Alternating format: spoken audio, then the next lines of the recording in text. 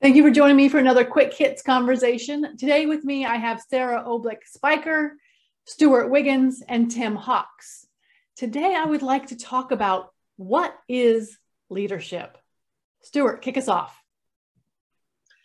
Well, there's a lot of different ways to describe leadership. And I think that each person has, with their definition of what they believe leadership is, leadership is influencing others either directly indirectly to accomplish a common task. Hmm. So, for example, if you're in the military and you want someone to take on a mission that they might risk their life and lose their life, leadership is they take that role because they know that you've trained them, prepared them to go on that mission, even though they might die, and that they're going to come back and survive. That's what leadership is. But isn't in the military, using that example, if they don't, there's some pretty serious consequences. So I, I don't know if I agree if that's leadership. So let, let me say this. Having been in the military, I will tell you that the difference between successful operation and a failed operation is the leadership that the leaders provide. Let's get super controversial here. I think if in a leadership conversation, if somebody brings up the military, I always cringe because mm-hmm. my thought is that no, this is not a good example of leadership. Now, sorry, folks, if, if you are ex-military, I have a lot of respect for you. That's not that's not in question here, but I think what we're not we're not talking about leadership. We're talking about followership here, rather than leadership in terms mm-hmm. of that military thing. So I think so for me, I I take the firefighter example. So if you imagine you're in charge of a group of fire people, you go to a fire, there's somebody dangling out the window and they need rescuing, then then a leader will step up and say, you do that, you do that, you do that. And everyone goes, yeah, okay, boss, we'll do that. And they take over. When they get back to the station and they sit down and they do a debrief, a different leader needs to appear, which is how is everyone? How did it go? Did everyone, is everyone all right with that? Now, they're mm. two very different types of leader but they're both leadership. So part of I think what Stewart said that did resonate with me was influencing others towards a common goal. I totally agree with that. But I think we can easily mix up leadership as being telling people what to do and them doing it. Actually, I agree with you. I just think that that's where the issue is defining what leadership is. I also think we're in a stage right now where um, we're experiencing this dynamic of definition changing, of examples changing. And just like you were addressing, you know, there are hard skills and there are soft skills. And soft skill used to be uh, associated with women as, you know, em- em- being empathetic and being gentle and being emotional. And now more and more we're seeing those are the traits of a good leader that is able to bring that, whether it's in organization or at home in a relationship, because leadership is not just defined within an organization. Mm-hmm. And uh, as a former athlete, I will never forget.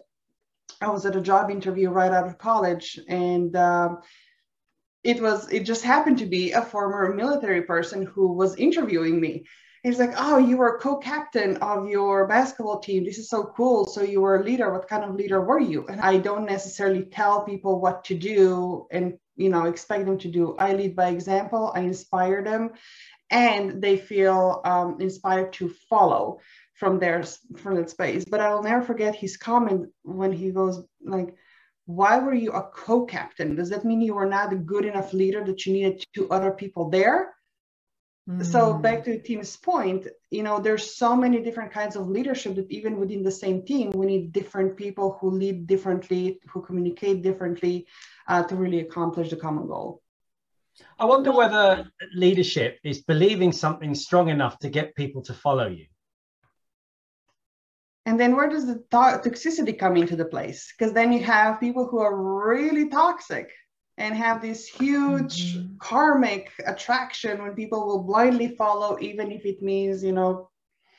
And that brings up the great subject of, you know, and uh, uh, again, I hate to do it. Contrary, was Adolf Hitler a good leader? Well, I think he was. He was okay. He was a bad man. He did some very bad things, but he managed to inspire sufficient millions of people to follow him. Is that good leadership? I mean, if you if you can divorce leadership from the direction it takes people, Yes, uh, totally. And is that a thing? Can you can you can you separate leadership from the direction it takes people? I think you have to almost silo it. When I say that it's circumstantial, I could sit here and very easily argue that leadership is action. I mean, depending upon the type of role that you have, people observe your activities, and that's a form of leadership. Well, leadership is also verbal. I mean, in the, in the realm of politics, and I'll use Hitler as an example if you want, there's an individual, his leadership was primarily what he articulated, what he verbalized. So that makes me think, it makes me wonder is the definition of leadership different if you're middle management, if you're upper management, or if you're the CEO? Is it the same word but means completely different things? Well, you're touching a different group of people. I mean, if you're if you're a first line supervisor, the way you inter the people you interact with are totally different. But and you're, you're doing development. Exactly. But that doesn't mean as the CEO, you're not developing because you're developing your vice presidents and senior vice presidents, and you're preparing them for roles of increased responsibility also. And the way you lead is different as opposed to people that are down there at the rank and file. This is a difficult 10 minutes.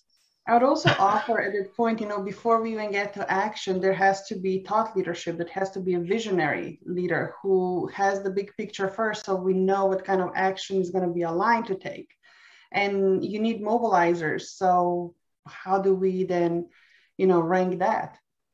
So, so it's Stewart right. It is challenging. So I've got some things. Is leadership action? Dalai Lama can lead without saying much at all. But is that uh, action? Is, does action so, have to be aggressive or can it be passive? That's passive. well, uh, true. passive isn't in inaction is action. I'll give you that. I think so. I'm thinking. I'm trying to unpick this a little bit, and I, what I'm thinking is leadership only exists if there's a follower. Right? You can you can't be a leader in a vacuum. You can't turn up on an island with no one else there. You can be a leader of yourself, I guess. So therefore, leadership must exist with followers so I'm wondering then, is leadership defined by if you ask a follower, do you like working for this person? And they say yes, you have a good leader, regardless of their abilities, skills, and how they behave. I think being liked is a whole separate conversation okay, that may right, or may no, not have anything to do with leadership. Let's not confuse that. Would you do you are you happy to follow this person? Let's put it that way then. You're right, liking is a different matter. Um, yeah. And if if somebody has followers that are willing to follow, therefore leadership, good leadership exists. No, not necessarily, because some people will follow just out of morbid curiosity. That makes them a good leader.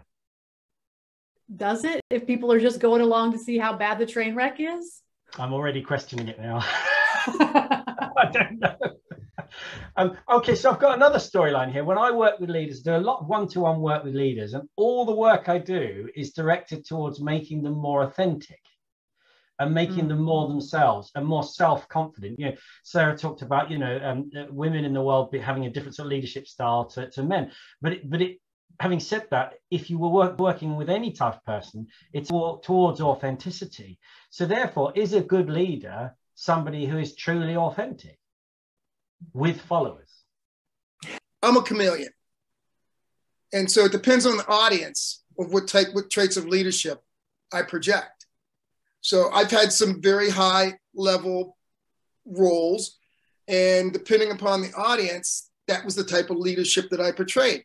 But if I was talking to people on the lo- loading dock, my leadership style was in a way that they could appreciate and understand and not make them feel diminished you're still authentic version of yourself in each role, just like as a parent, right?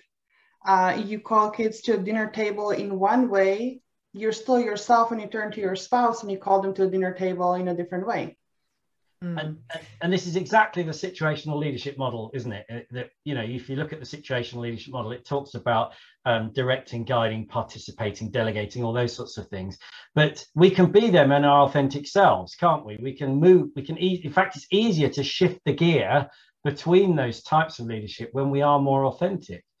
But, that is our 10 minutes. So we have to cut us off there with all of this what is leadership stuff. And we'll have to do it again soon. Thank you so much for having this conversation with me. And I'll talk to you again.